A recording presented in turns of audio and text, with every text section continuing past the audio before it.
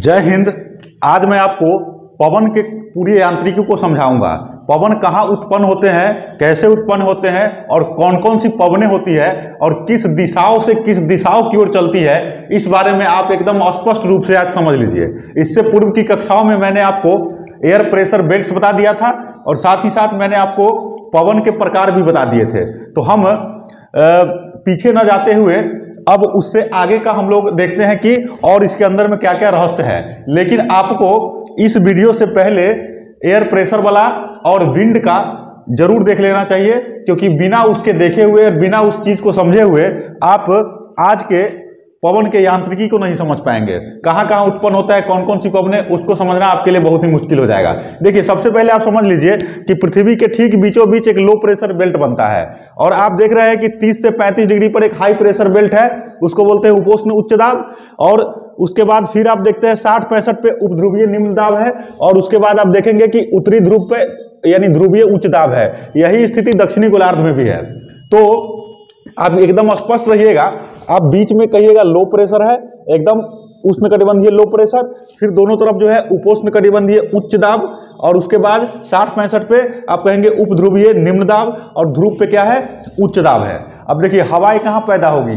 हवाएँ जब भी पैदा होती है, वह उच्च दाब में ही पैदा होती है। जहाँ पे उच्च दाब है तो इस पृथ्वी पे क्षैतिज रूप से जो पवने चलती है, जिसको अस्थाई पवने कह देते हैं, जिसको परमानेंट विंड्स कह देते हैं, या जिसको प्राइमरी विंड्स कहते हैं, ग्रहीय पवने कहते हैं, सनातनी पवने कहते हैं, उसका बहुत सारा नाम है। वो सब के सब उत्पन्न होता है यही हाई प्रेशर बेल्ट्स में। कहाँ कहाँ उत्पन्न होंगे? एक उत्तरी गोलार्ध में हाई प्रेशर 30 पैंतीस है, और दूसरा है आपका ध्रुव पे। वही स्थिति दक्षिणी गोलार्ध में भी है 30 पैंतीस और ध्रुव पे। यानी चार जगह है जो हाई प्रेशर हुआ, जो वहाँ पे क्षैतिज पवने चलेगी वहाँ से पृथ्वी के धरातल पे, पृथ्वी के सतह पे। उसी को कहा जाएगा ग्रहीय पवने या सनातनी पवने। सनातनी पवनें इसलिए बोलते हैं क्योंकि वह पूरे ग्रह का चक्कर लगा लेता है। इस पूरे पृथ्वी का वो चक्कर लगाता है, इस पूरे पृथ्वी पे चलता है वह। और उसका जो दिशा होता है, वह लगभग एक ही प्रकार का बना रहता है सालों भर। इसीलिए उसको कहते हैं ग्रहीय पवने या ग्लोबल पवने। इस चीज़ को समझने के लिए आपको सबसे पहले यह समझना होगा कि इस पृथ्वी पे तापमान में विषमता होती है। साथ ही साथ तापमान में विषमता के कारण वायु दाब में विषमता हो जाती है, क्योंकि दो वायु दाब के बीच में विषमता ही पवन के उत्पत्ति का कारक है। और आप ये भी जानते हैं कि पृथ्वी अपने अक्ष पे रोटेट करती रहती है, पश्चिम से पूरब, और साथ ही साढ़े तेईस डिग्री झुकी हुई भी है। अब इसके रोटेशन से एक फोर्स लगता है इस पर और वह फोर्स हवा के डायरेक्शन को बदल देता है। उसको बोलते हैं कोरियोलिस फोर्स तो कोरियोलिस महोदय ने इसको खोजा था कि हवा जो है, हवा सीधे सीधे नहीं चल पाती है। इस तरह से एकदम सीधे नहीं चल पाएगी। इस तरह से डायरेक्शन नहीं हो पाता है। क्योंकि हवा के इस साइड से या इसके इस साइड से। एक फोर्स लगता है पृथ्वी के रोटेशन के कारण, और वह हवा जो है, उसमें विक्षेपण पैदा हो जाता है डिफ्लेक्शन पैदा हो जाता है। तो उसको तो हम लोग आगे देख लेंगे कि कैसे होता है, कैसे यह जो है, इस पर धक्का दे करके एक एंगुलर मूवमेंट पैदा कर करके उसके पूरे उसके स्वभाव को, उसके दिशा को बदल देता है। देखिए डिफ्लेक्शन फोर्स स्पीड को नहीं बदलेगा, सिर्फ़ दिशा को बदलता है कोरियोलिस फोर्स अब आप ये समझिए कि एक फेरल महोदय थे। फेरल महोदय ने भी कहा था कि पवन की दिशा किस तरह से हो जाएगी। उन्होंने दिशा का बहुत बारीकी से अध्ययन किया था और वह अध्ययन आपको भी समझ में आ जाएगा, वो किसी को भी समझ में आ जाता है। फेरल नाम का एक मौसम वैज्ञानिक थे, उन्होंने ही इसको खोजा था। तो देखिए, फेरल का नियम क्या कहता है, उसको पहले समझ लीजिए, फिर इसको हम पूरा समझाते हैं आपको। देखिए, फेरल का नियम है, फेरल नाम है उनका, फेरल का नियम। उसको शॉर्टकट में कहते हैं कि वह वायु की दिशा को ज्ञात करने का नियम है। तो उन्होंने जो दिशा बताया था, उन्होंने बताया था कि उत्तरी गोलार्ध में हवाएँ जो है वह दाहिनी ओर मुड़ जाएगी और दक्षिणी गोलार्ध में अपनी बाई ओर। तो इसको कैसे आप निश्चित करेंगे, इसके लिए एक ट्रिक मैं आपको बता दे रहा हूँ। इसको ट्रिक कहिए। तो यहाँ पे आप एस लिख लीजिए। एस को आप दो बराबर भागों में बांट दीजिए। यहाँ पे ज़ीरो डिग्री लिख दीजिए। यहाँ इक्वेटर हो गया ये, इक्वेटर। तो इक्वेटर जानते हैं कि दो गोलार्ध में बांट दिया पृथ्वी को, एक उत्तरी गोलार्ध हो गया, एक दक्षिणी गोलार्ध हो गया। ये आपका उत्तरी गोलार्ध है। इसको कहेंगे उत्तरी गोलार्ध, इसको कहेंगे दक्षिणी दक्षिणी गोलार्ध। ठीक है? यहाँ तक तो स्पष्ट हो गया। अब देखिए, इसको मैंने काट दिया। इसका मुँह देखिए किधर घुमा हुआ है। राइट हैंड की तरफ़ घुमा हुआ है। ये राइट में है तो इसको कहेंगे राइट हैंड और ये जो है, ये लेफ़्ट में है, इसलिए इसको कहेंगे लेफ़्ट हैंड डायरेक्शन अब देखिए, उत्तरी गोलार्ध में हवा किधर मुड़ रही है? राइट हैंड की तरफ़। और दक्षिणी गोलार्ध में किधर मुड़ रही है? लेफ़्ट हैंड की तरफ़। यह फेरल के नियम है, उसको मैंने ट्रिक से आपको बता दिया है। अब आगे का देखिए, फिर आपको ये समझ में आएगा। सबसे पहले देखिए कि हवाओं की उत्पत्ति होती है उच्च वायु दाब के क्षेत्र से, उपोष्ण उच्च दाब से। तो ये हवाएँ किधर चलती है? वह लो प्रेशर की तरफ़ चलेगी। लो प्रेशर बेल्ट की तरफ़ चलेगी। तो इसमें आप समझने के लिए किसी भी एक गोलार्ध का पूरा अध्ययन कर लीजिए अच्छे से तो आपको दक्षिणी गोलार्ध का भी समझ में आ जाएगा, उत्तरी गोलार्ध भी समझ में आ जाएगा। तो इसके लिए सबसे पहले अध्ययन की सुविधा के लिए हम एक गोलार्ध का पहले अध्ययन कर लेते हैं, फिर दूसरे गोलार्ध का भी अध्ययन हम कर लेंगे। तो सबसे पहले देखिए, यहाँ पे हाई प्रेशर बेल्ट बना हुआ उसको बोलते हैं उपोष्ण उच्च दाब की पेटी। उपोष्ण उच्च दाब की पेटी से हवाएँ दक्षिण की ओर चलेगी, क्योंकि यहाँ लो प्रेशर बेल्ट है तो दक्षिण की ओर चलना शुरू कर देगी, दक्षिण की ओर चलेगी। लेकिन फेरल ने क्या कहा था? कि जो उत्तरी गोलार्ध की जो हवाएँ होती है, वह अपने दाहिनी ओर मुड़ जाएगी। अब देखिए, इसमें हवाएँ जो है, वह उत्तर से दक्षिण आ रही है। उत्तर से दक्षिण आ रही है, इसका मतलब यह हुआ कि उसका डायरेक्शन जो है, किस तरफ़ है? दक्षिण की तरफ़ है। जैसे हम अभी खड़े हैं, हम अगर यहाँ से यहाँ से चलना शुरू किए आगे की ओर तो ऐसे ऐसे चले अब आप क्या करिए कि आपका दाहिना किधर होगा? तो दाहिना हाथ हमारा इधर है, बाया हाथ हमारा इधर है। अब आप दोनों बाहों को फैला दीजिए शाहरुख खान की तरह। हे अंजलि, देखिए सॉरी आप हाथ को फैला दीजिए ऐसे, और दाहिना हाथ जो है, वह आपका दाहिना हो गया, बाया हाथ बाया हो गया। हवा भी इसी तरह से आ रही है, उत्तर से दक्षिण की ओर। तो दाहिने तरफ़ ये मुड़ जाएगी, फेरल के नियम के अनुसार। किधर मुड़ेगी? इसको बल इधर से लग रहा है, इधर से लग रहा है इसको। डिफ्लेक्शन फोर्स लग रहा है। तो किधर मुड़ जाएगा? इधर मुड़ जाएगा। ये आप देख लीजिए, इधर मुड़ जाएगी हवा तो ये पूरे पूरे पेटी में इसी तरह से हवा है, इधर मुड़ती जाएगी, इधर मुड़ती जाएगी, क्योंकि इधर से फोर्स लग रहा है। तो ये हो गया, इसको बोलते हैं व्यापारिक पवन। इसका नाम है व्यापारिक पवन। इसको अंग्रेज़ी में कहते हैं ट्रेड विंड ट्रेड विंड और देखिए दक्षिणी गोलार्ध में क्या स्थिति होगा? तो दक्षिणी गोलार्ध में क्या यही स्थिति होगा? नहीं होगा, क्योंकि दक्षिणी गोलार्ध में देखिए, यहाँ पे हाई प्रेशर बेल्ट है, यहाँ से हवाएँ चलेगी उत्तर की ओर। तो यहाँ से दक्षिण से उत्तर, यहाँ से उत्तर से दक्षिण चल रही है।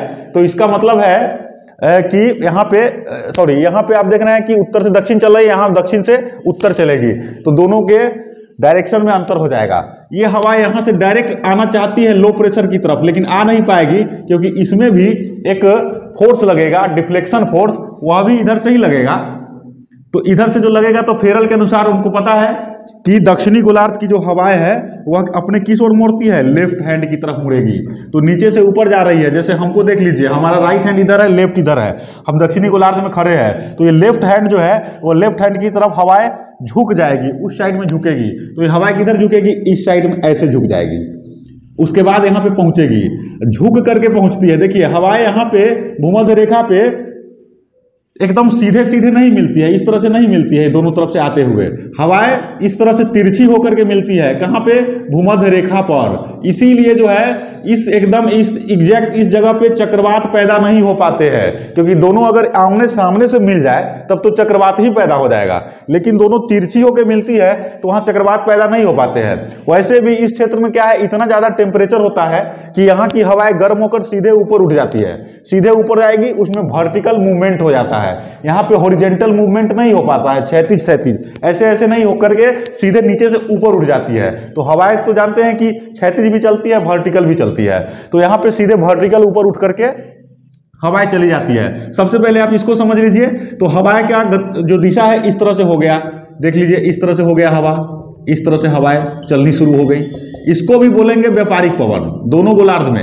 एक ही हवा होगी। इसको बोलते हैं व्यापारिक पवन, इसको बोलते हैं ट्रेड विंड इसका डायरेक्शन देख लीजिए, कैसे है? यह पूरब से और दक्षिण से, यानी दक्षिण पूरब से यह उत्तर पश्चिम की तरफ़ जा रही है। तो इसको कहेंगे, इसको, इसका क्या वो करेंगे? कहाँ से कहाँ जा रही है? इसको हम लोग यहाँ पे देख लेते हैं, बना करके। इसको हम यहाँ पे मिटा देते हैं। अब यहीं पे उसको हम लिख देते हैं आपको। इससे आपको समझने में आसानी हो जाएगा। तो इसको समझ लीजिएगा तो आपका पूरा रहस्य ही सोल्व हो जाएगा। देखिए, ये हवाएँ जो है व्यापारिक हवा कहलाएगी। यह अस्थाई पवन है, इस पूरे पृथ्वी पे चलती है वो। इस देख रहे हैं, तीस से डिग्री से लेकर के और पाँच डिग्री के बीच में, पूरे पृथ्वी पे। तीस डिग्री से लेकर पाँच डिग्री के बीच में चलती रहती है, उत्तरी और दक्षिणी गोलार्ध दोनों में। तो व्यापारिक पवन है, व्यापारिक पवन जो है, वो कहाँ से चली, कहाँ से चली, अगर पूछ दे तो आप कहेंगे उपोष्ण उच्च दाब से, उपोष्ण उच्च दाब से, वह उपोष्ण उच्च दाब से विश्वतीय निम्न दाब की ओर चलती है। विश्ववतीय निम्न दाब की ओर चलेगी। यह स्पष्ट हो गया। उत्तरी गोलार्ध में इसकी दिशा कैसी होगी? दिशा देख लीजिए। दिशा में दो प्रकार का होगा। एक उत्तरी गोलार्ध में हो गया। तो उत्तरी गोलार्ध में इसकी दिशा देख लीजिए। कहाँ से कहाँ चल रही है? यह उत्तर पूर्व से, यानी कि नॉर्थ ईस्ट से, नॉर्थ ईस्ट ट्रेड विंड इसको इसीलिए तो बोलते हैं। North east trade wind. इसको बोलते हैं साउथ ईस्ट ट्रेड विंड, क्योंकि यह साउथ ईस्ट से आती है। ट्रेड विंड हो गया। अब ये इसकी दिशा उत्तरी गोलार्ध में क्या हुआ? उत्तर और देख लीजिए, उत्तर और पूरब से, उत्तर पूरब से, दक्षिण, पश्चिम। ठीक है? उत्तरी गोलार्ध का। दक्षिणी गोलार्ध में क्या होगा? दक्षिणी गोलार्ध में इसकी दिशा देख लीजिए, दक्षिण और पूरब से, दक्षिण पूरब से उत्तर पश्चिम हो गया। उत्तर पश्चिम इसकी दिशाएँ हो गई। इसी तरह से बाकी हवाओं का भी आप दिशा ज्ञात कर सकते हैं। देख लीजिए, दूसरा क्या हवा है? यही हाई प्रेशर वाली जो बेल्ट है, इससे एक और हवा पैदा होती है। ये तो दक्षिण की तरफ़ भागा, एक हवा उत्तर की तरफ़ भी भागेगी, क्योंकि यहाँ भी एक लो प्रेशर बेल्ट बना हुआ है, उपध्रुवीय निम्न दाब की तरफ़। तो यहाँ से एक हवाएँ चलेगी। वो हवाएँ सीधे लो प्रेशर एलपी की तरफ़ नहीं भाग सकती है। उसका भी दिशा चेंज हो जाएगा फेरल के नियम के अनुसार। तो ये ऐसे नहीं चल करके, उसकी दिशा आप देख रहे हैं कि इसके लिए दक्षिण कौन होगा? इधर दक्षिण आपका होगा। तो वो किधर मुड़ेगी आपको? इस साइड में मुड़ जाएगी। तो ये हवाएँ जो है, जहाँ से आती है उसी का नाम दे दिया जाता है। अगर पूरब से आ रही है तो पूर्वा हवा, पश्चिम से आ रही है तो पछुआ हवा, उत्तर से आ रही है तो उत्तराई हवा। जैसे बिहार से कोई आ रहा था बिहारी, पंजाब से कोई आ रहा है तो पंजाबी, और पाकिस्तान से कोई आ रहा है तो आतंकवादी। उस पर कोई नियम लागू नहीं होता है। अब देखिए, इसमें ये हवाएँ जो है पश्चिम से पूरब की ओर चल रही है। इसलिए इसका नाम दे दिया जाता है पछुआ हवा। ये पश्चिम से पूरब चल रही है, इसलिए इसका नाम देंगे पछुआ हवा। अंग्रेज़ी में इसको कहते हैं वेस्टर्लीज। यह उत्तर में भी है, दक्षिण में भी है। यहाँ भी हवाएँ चलेगी, लेकिन इसका डायरेक्शन थोड़ा सा बदल जाएगा, क्योंकि इस तरह से डायरेक्शन में नहीं रहेगा। उसका डायरेक्शन कैसे हो जाएगा? इस तरह से हो जाएगा, क्योंकि फेरल का नियम यहाँ भी लागू होगा।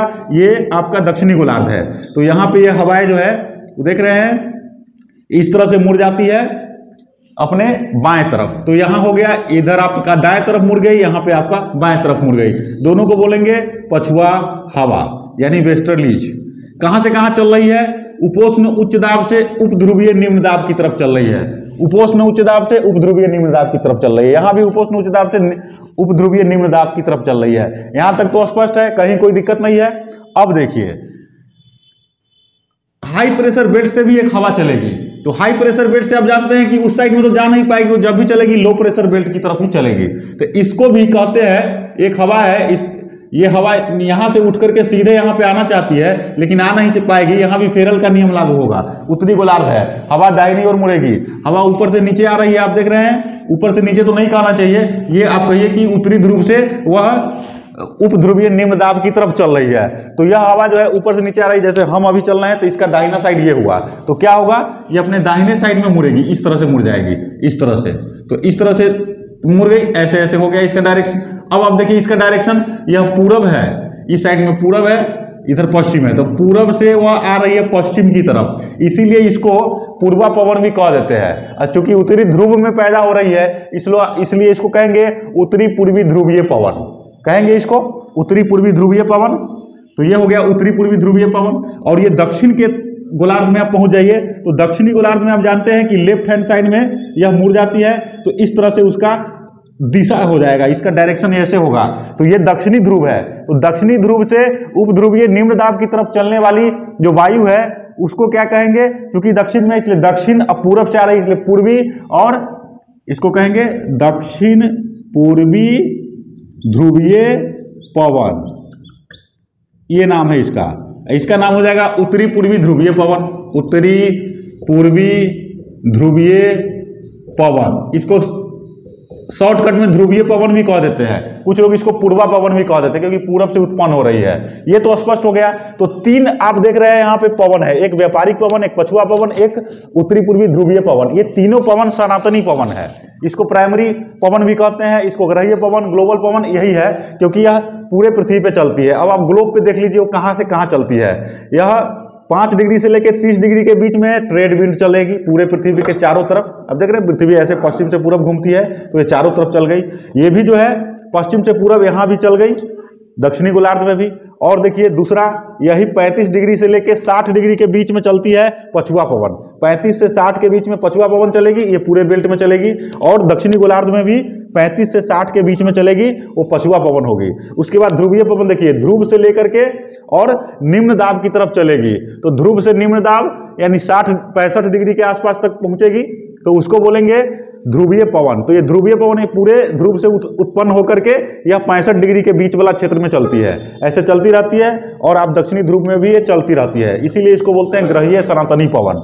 इस पवन को आप समझ गए होंगे तो और डायरेक्शन को भी आप समझ गए हैं तो अब हम इसके आगे का आपको बता देते हैं कि यहाँ पे हाई प्रेशर बेल्ट जो बना हुआ है तो यहाँ पे हाई प्रेशर बेल्ट क्यों बना हुआ है? उसके पीछे का पूरा एक रहस्य को डिकोड कर लेते हैं हम लोग, उसको भी आप अच्छे ढंग से समझ लीजिए। लेकिन इसमें थोड़ा सा और समझ लीजिए कि जो पछुआ पवन है, उसका नाम जो है, वह उपनाम भी होता है, कुछ नाविकों ने उसका नाम रखा हुआ है दक्षिणी गोलार्ध में। उत्तरी गोलार्ध में इसको पूरा का पूरा पछुआ हवा ही कहते हैं। पूरा पछुआ पवन ही है ये। पछुआ पवन है, इसको हवा नहीं, पछुआ पवन कहिए पछुआ पवन, इसको भी कह दीजिए पछुआ पवन। यानी वेस्टर्नली हो गया। अब देखिए, इसमें पछुआ पवन जो होते हैं, जो दक्षिणी गोलार्ध की होती है, उसका नाम थोड़ा सा चेंज हो जाता है जगह के अनुसार। ये 40 डिग्री पर तक जो पहुँचती है, यह 35 डिग्री को पार करके जब 40 डिग्री पे पहुंचेगी, कौन सा? ये पछुआ भवन, यहाँ। 35 डिग्री से पार करके जब 40 डिग्री पे पहुंचेगी तो इसका नाम जो है, यह इसका नाम थोड़ा सा बदल जाएगा। 40 डिग्री दक्षिणी अक्षांश पे पहुँच रही है। दक्षिणी अक्षांश पे। इसका नाम होगा गरजता चालीसा। इसको बोलते हैं गरजता चालीसा। गौर गरजता चालीसा। क्यों? क्योंकि यहाँ हवाएँ बहुत तेज गति से चलती है, एकदम तो सायसा चलती रहती है। और यहाँ पे चूँकि पूरा का पूरा जो है, वो आप देख रहे हैं कि इस पूरे क्षेत्र में आप देखेंगे कि ज़्यादा से ज़्यादा जो है इस पूरे क्षेत्र में, ये देख रहे हैं महाद्वीप है उत्तरी गोलार्ध है।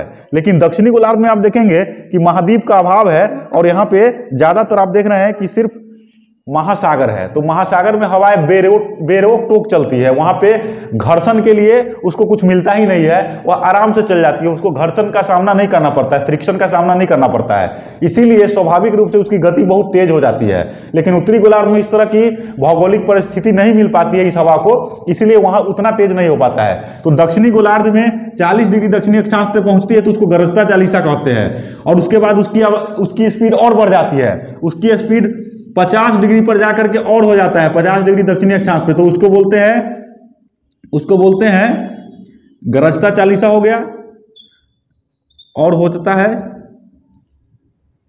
भयंकर पचासा, इसको बोलते हैं भयंकर पचासा।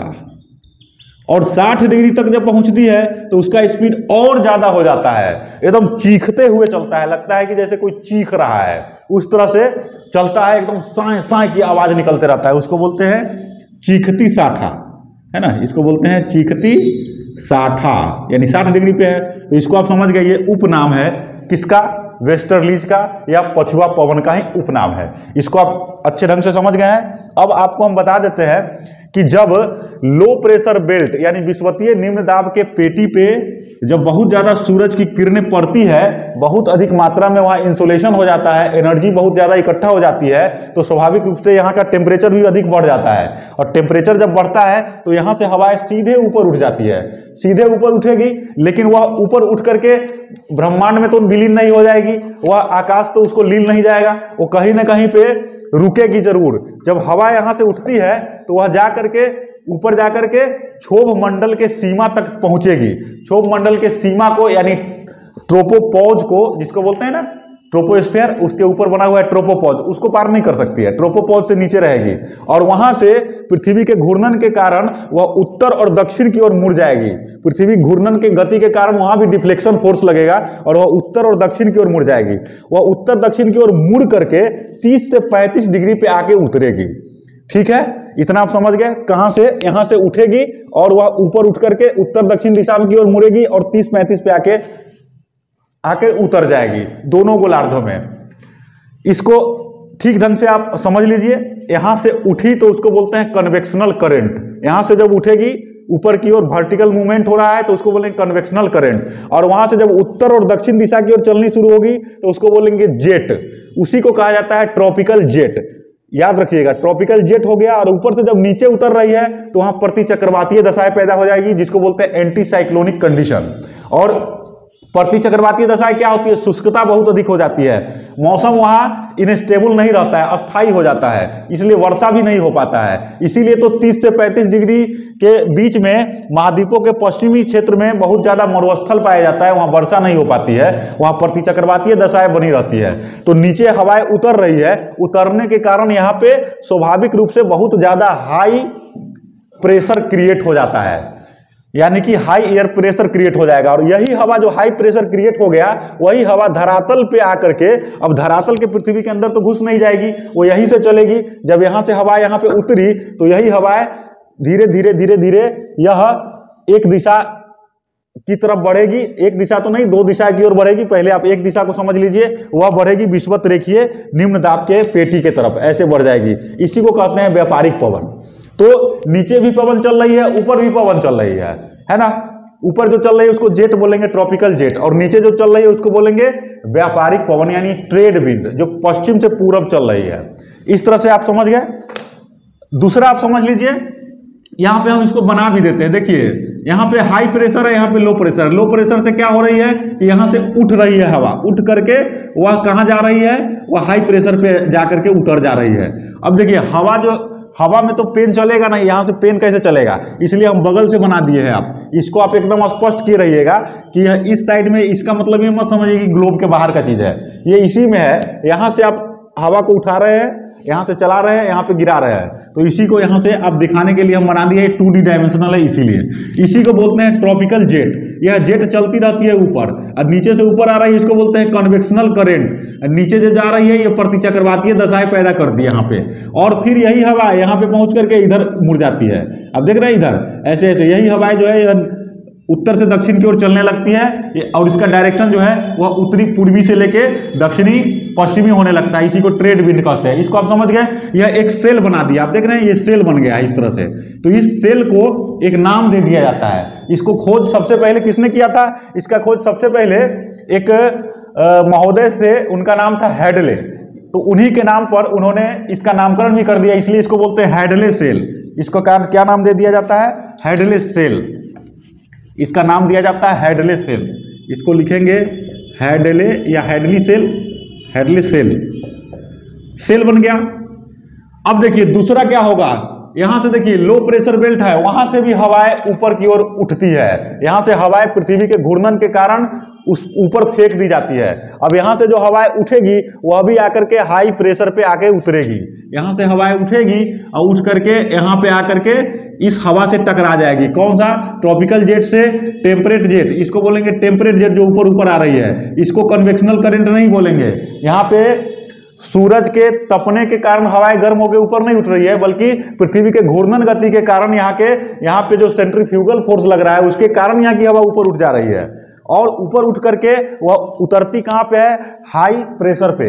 और यही हवाएँ ऊपर ऊपर जो चलती है तो इसको बोलते हैं टेम्परेट स्टर्ली जेट आप देख रहे हैं कि टेम्परेट रीजन में चल रही है और पूरब से पश्चिम आ रही है, इसलिए स्टर्ली बोलते हैं। और ऊपर ऊपर चल रहा है, इसलिए जेट बोलेंगे। तो टेम्परेट स्टर्ली जेट समझ गया वह भी आकर के ट्रॉपिकल जेट से टकरा जाती है। अब देखिए, यहाँ पे आके टकरा रही है। तो टकराने से क्या होगा? टकराने से क्या होगा कि यह हवा न इधर जा सकती है न ये हवा को उधर जाने देगा, बीच में टकरा जाएगी। और टकरा करके इसका मजबूरी होगा कि यह नीचे उतरेगी, ऊपर जा नहीं सकती है। पृथ्वी उसको जाने नहीं देगा। अपना गुरुत्वाकर्षण बल भी तो है पृथ्वी में। साथ ही साथ कितना ऊपर जाएगा? क्षोभ मंडल तक तो पहुँच ही गया। अब उसके नीचे उसको उतरना तय है। ऐसे भी समाज में भी देखते हैं कि जब भी दो व्यक्ति टकरा जाते हैं आपस में चाहे वो कितने भी ऊंचाई पे हो, उनका अधोपतन हो जाता है, वो नीचे उतर जाते हैं। इसलिए समाज में कभी टकराना नहीं चाहिए। अगर आप टकरा जाएँगे तो बहुत ऊंचाई पर भी होंगे तो नीचे उतर जाएँगे। तो घमंड नहीं करना है। ऊपर से देखिए, यहाँ पे टकरा गई तो टकरा गई तो यहाँ चक्रवात पैदा हो गया। कहाँ पैदा हुआ? पृथ्वी के स्थल पे नहीं पैदा हुआ है। ये सतह पे पैदा नहीं हुआ है, ये बहुत ऊपर पैदा हुआ तो हम लोग को क्या लेना देना है? लेकिन होता है, यहाँ पे चक्रवातीय दशा पैदा हो गई। और यही चक्रवातीय दशा जब नीचे उतरेगी, कहाँ पे? 30-35 डिग्री नॉर्थ साउथ पे। तो यहाँ पे प्रति चक्रवातीय दशा पैदा कर देगी। ऊपर हुआ चक्रवातीय दशा, नीचे हो जाएगा प्रति चक्रवातीय दशा। अब प्रति चक्रवातीय दशा जो है यहाँ पे पैदा हो गई। यहाँ पे उतर रहा है हाई प्रेशर बना दिया और यहाँ से हवाएँ चल पड़ी। उसको बोलेंगे ट्रेड विंड और जो हवाएँ उत्तर की ओर चल पड़ी, यानी कि उत्तर तो इसका डायरेक्शन बदल जाएगा, पश्चिम की तरफ़ हो जाएगा सॉरी पूरब की तरफ़ हो जाएगा, पश्चिम से पूरब की तरफ़ तो इसको बोलेंगे पछुआ पवन। तो दो पवन का उत्पत्ति हो गया, दो सेल का भी उत्पत्ति हो गया। अब इसकी खोज किसने किया था? तो इसकी खोज किया था फेरल महोदय ने।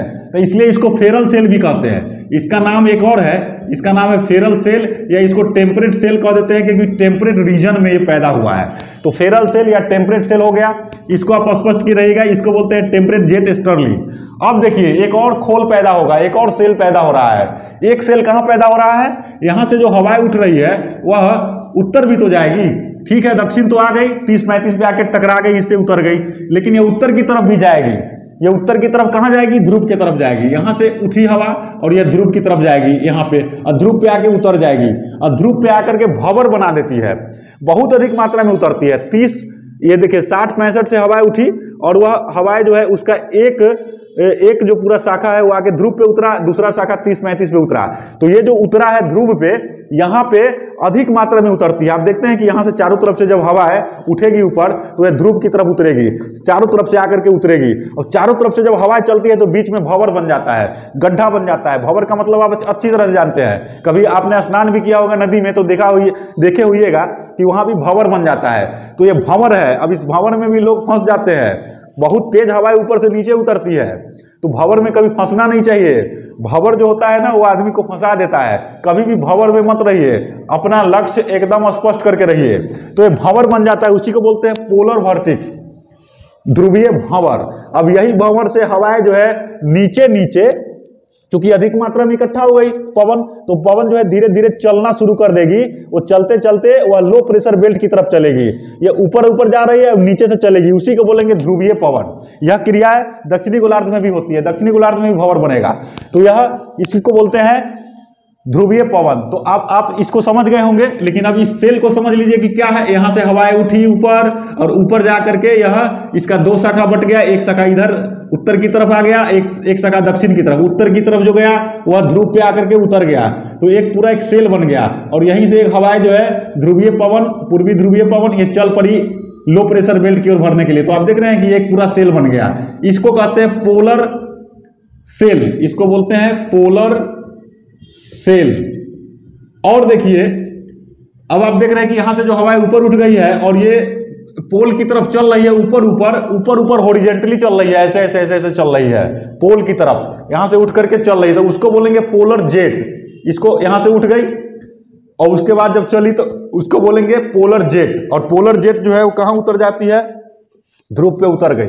वहाँ पे बना दिया पोलर वर्टिक्स तो इस सेल को भी आप समझ गए होंगे। लेकिन अब आप समझिए कि इसके बीच में क्या होता है? इस सेल के बीच में क्या होता है? तो इस सेल के बीच में एयर मास होता है। इसको बोलते हैं वायु राशि एयर मास इसको कहते हैं। तो इसको बस याद रखे रहिएगा कि इसके बीच में एयर मास होता है, ये भी एयर मास है, ये भी एयर मास है, ये भी एयर मास है।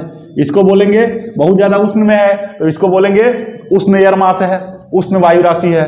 ये जो है शीतोष्ण वाला है और ये ठंडा बहुत ज़्यादा है तो उसको बोलेंगे शीत वायु राशि है। तो इस तरह से वायु राशियाँ हो जाती है। अब आप इसमें कुछ चीज़ों को और क्लियर कर लीजिए, एकदम स्पष्ट रूप से। नीचे जो वायु टकराती है तो वो ऊपर उड़ जाती है। और ऊपर से जो वायु टकराती है वो नीचे उतर जाती है। अब देखिए, यहाँ से जो वायु टकरा गई नीचे तो नीचे जो है, वो दोनों तरफ़ भाग गई। दोनों तरफ़ भाग गई, है ना? यानी कि दोनों तरफ़ भागेगी और ऊपर से जो वायु टकराएगी, वह नीचे उतर जाएगी। इसके लिए आप एक आप देख लीजिए यहाँ पे विश्वत रेखीय निम्न दाब में, यह वायु टकरा रही है। तिरछे रूप से आकर के व्यापारिक पवने टकरा रही है। अब ये टकरा करके क्या होगा? ऊपर उठ जाएगा। यहाँ से टकराया तो ऊपर उठ गया। यानी कि धरती पर जो वायु टकरा गई, दो अलग अलग स्वभाव की, या फिर एक ही स्वभाव की होती है ये तो टकरा गई तो सीधे सीधे ऊपर उठ गई। तो नीचे के लोग जो टकराते हैं तो सीधे स्वर्गवासी हो जाते हैं। इसलिए इसको ध्यान में रखिएगा कि टकराहट से अपने आप को बचाइएगा। क्योंकि टकराने से आप सीधे ऊपरी मुखी हो सकते हैं और काफ़ी ऊपर जा सकते हैं, हो सकता है आप नीचे लौटे ही नहीं। तो ये होता है। उसके साथ साथ अब इसका स्वभाव भी देख लीजिए, देखिए, व्यापारिक हवाएँ जो होती है, उसमें जहाँ से चलती है, वहाँ शुष्कता बहुत अधिक होती है, वर्षा नहीं कर पाती है। लेकिन जैसे जैसे वह वह लो प्रेशर बेल्ट यानी विश्वतीय निम्न दाब की तरफ़ बढ़ेगी तो समुद्री क्षेत्र मिलता है, वहाँ से जल को उठाती रहती है और वह धीरे धीरे धीरे धीरे उसमें बहुत अधिक मात्रा में आर्द्रता जमा हो जाती है। आर्द्रता जमा हो जाती है और वह इस क्षेत्र तक पहुँचती है तो और ज़्यादा गर्म होकर ऊपर उठ जाती है और ऊपर जब उठती है तो उसमें आर्द्रता बहुत होता है, इसलिए वर्षा बहुत होता है इस भूमध्य रेखीय क्षेत्र में। ये स्वाभाविक रूप से कहा जाता है कि हर रोज वर्षा हो जाता है। हर रोज अगर नहीं भी हुआ तो ऐसा कोई महीना नहीं है जिसमें छह सेंटीमीटर से कम वर्षा होता हो। तो इसीलिए यहाँ जैव विविधता बहुत अधिक मात्रा में मिलता है। उसके साथ ये पछुआ पवन जो है, ये पछुआ पवन भी वर्षा कराने के लिए बहुत जिम्मेवार है। ये होता क्या है कि जहाँ पे लो प्रेशर बेल्ट से में जाती है और ध्रुवीय पवन और पछुआ पवन आपस में आके टकरा रही है, नीचे, धरातल के नीचे, वहाँ पे चक्रवात पैदा हो जाता है। उसको बोलते हैं शीतोष्ण कटिबंधीय चक्रवात। क्योंकि आप देख रहे हैं कि शीतोष्ण कटिबंध में है। यहाँ पे ठंडा ज़्यादा पड़ता है। तो शीतोष्ण कटिबंध में दोनों तरफ़ से आई हवा, एक हवा इधर से आ रही है, एक हवा इधर से आ रही है, दोनों आपस में आके टकरा गई। अब टकराने से क्या होगा? वहाँ चक्रवात पैदा हो जाता है। ऐसे भी आप जानते हैं कि हवाएँ जब दोनों तरफ़ से टकरा जाती है तो चक्रवात, यहाँ पे एक चीज़ बनता है, उसको बोलते हैं वाताग्र।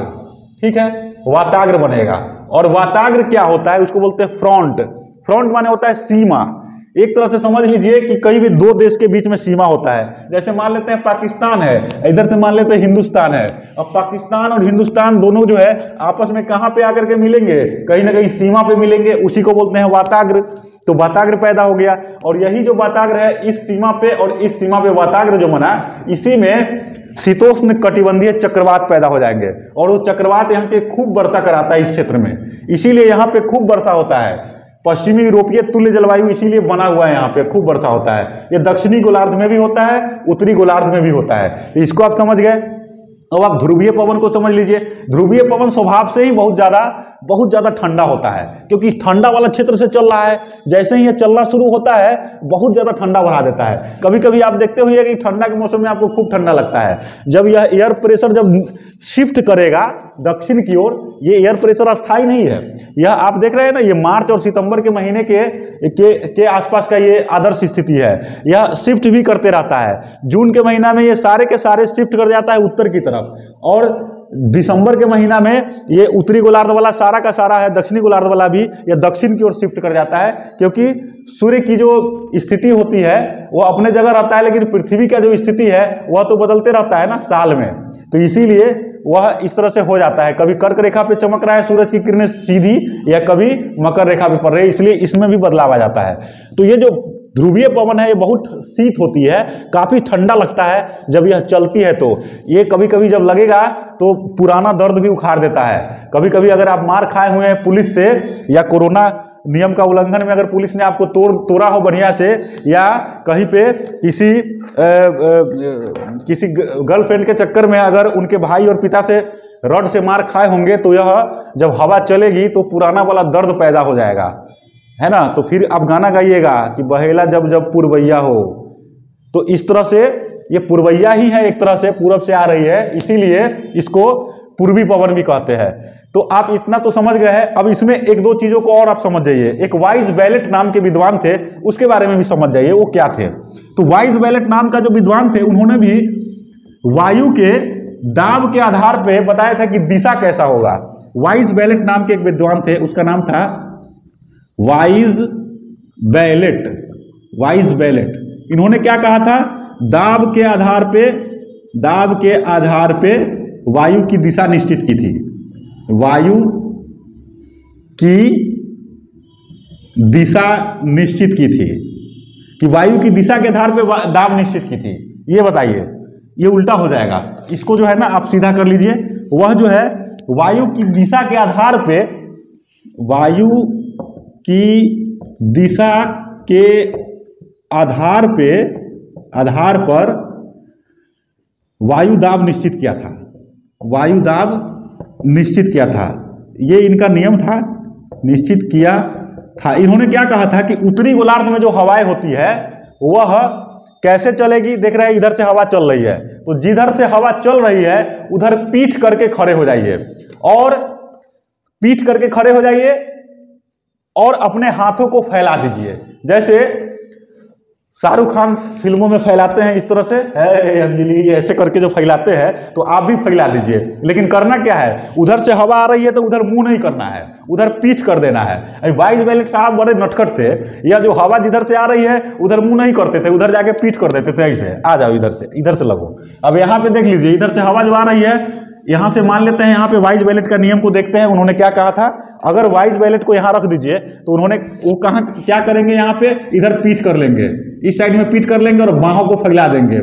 इधर उनका राइट हैंड है इधर उनका लेफ़्ट हैंड है। तो उन्होंने कहा था कि राइट हैंड जिधर होगा उधर हवा जो होती है वह ए, मतलब यहाँ जो प्रेशर बनेगा वह उच्च दाब बनेगा उसको हाई प्रेशर बोलेंगे। और जो लेफ़्ट हैंड की तरफ़ होता है उसको लो प्रेशर बेल्ट बोलेंगे। तो यहाँ तो स्पष्ट हो गया उनका कि उत्तरी गोलार्ध में हवा आ, आ, आ, का राइट का जो उच्च दाब होगा वह राइट हैंड की तरफ़ होगा और जो लेफ़्ट हैंड है, उधर लो प्रेशर होगा। इसी तरह से दक्षिणी गोलार्ध में भी इनको रख करके देख सकते हैं। कहीं भी रख करके देख लीजिए, ये आपको पता लग जाएगा। जैसे मान लेते हैं कि इसी जगह पे वाइज वैलेट को रख दिए। हवाएँ इधर जा रही है, इधर तीर का निशान बना हुआ इधर जा रही है। वाइज वैलेट से आप दक्षिण में हवाओं का क्रम जो है, वो बदल जाएगा। तो उनका जो है, क्या हो जाएगा? इधर उनका, इधर से इधर जा रहे हैं। तो इधर देख लीजिए, इधर क्या हो जाएगा इनका? इधर राइट हैंड हो जाएगा, इधर उसका लेफ़्ट हैंड हो जाएगा। तो इन्होंने क्या कहा था कि लेफ़्ट हैंड की तरफ़ जो है हाई प्रेशर हो जाएगा लेफ़्ट और राइट हैंड की तरफ़ लो प्रेशर हो जाएगा। तो यहाँ भी उनका बात जो है सिद्ध हो जाता है। तो वाइस बैलेट साहब भी हवाओं का जो जो जो दिशा है, उसके आधार पे वह दाब को निश्चित करते हैं। तो वाइस बैलेट साहब पहले उत्तर खोज लेते हैं, फिर प्रश्न पूछते हैं। लेकिन फेरल साहब जो है, वो पहले ही प्रश्न के आधार पर उत्तर निकालते हैं। तो दोनों में यही अंतर है। तो दोनों के अंतर को भी स्पष्ट करके रखिएगा। एक और कोरियोलिस फोर्स कोरियोलिस फोर्स हम आपको बता रहे हैं बार बार ये कोरियोलिस फोर्स क्या होता है? वह डिफ्लेक्शन फोर्स है। पृथ्वी जब ऐसे ज़ोर से घूमती है ना तो एक सेंट्रीफ्यूगल फोर्स लगता है, उसको बोलते हैं केंद्रापसारी बल। तो ये तो पूरे पृथ्वी पे लग रहा है। सबसे ज़्यादा लगता है भूमध्य रेखीय क्षेत्र में। और धीरे धीरे धीरे धीरे जैसे ध्रुव की तरफ़ बढ़ेंगे, ध्रुव की तरफ़ बढ़ेंगे तो वह कमता जाता है। है ना? लेकिन जो कोरियोलिस फोर्स होता है वह सबसे ज़्यादा विश्वत रेखा पर ही लगता है। तो दोनों में अंतर स्पष्ट करके रखिएगा।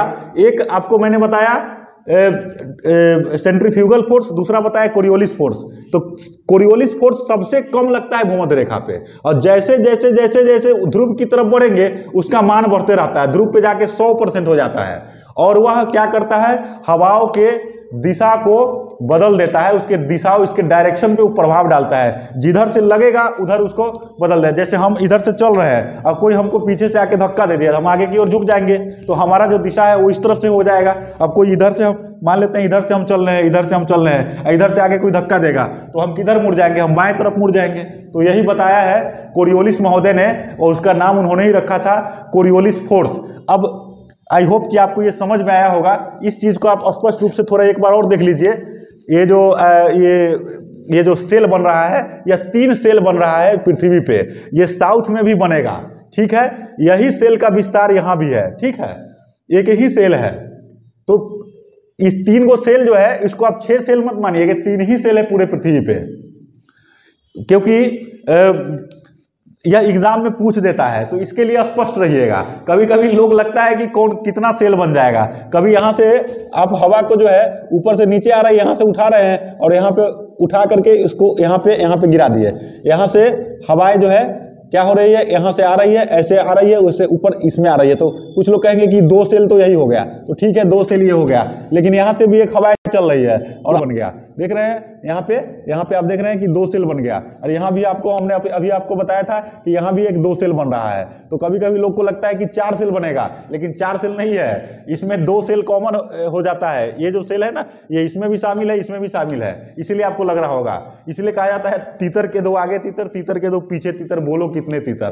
तो तीतर जो है, वो है तो तीन ही, लेकिन अगर हम ऐसे कहेंगे, तीन, तीतर के दो आगे तीतर तीतर के दो पीछे तीतर आगे आगे तीतर, पीछे तीतर बोलो कितने तीतर तो आप तो कहने लगेंगे पाँच तीतर है, लेकिन है तो उसमें तीन ही। तो इसीलिए यहाँ भी कन्फ्यूज़न होता है। तो भूगोल जो है वह अपने हिसाब से चलता है मैथमेटिक्स अपने हिसाब से चलता है। आई होप कि ये समझ में आया होगा आपको।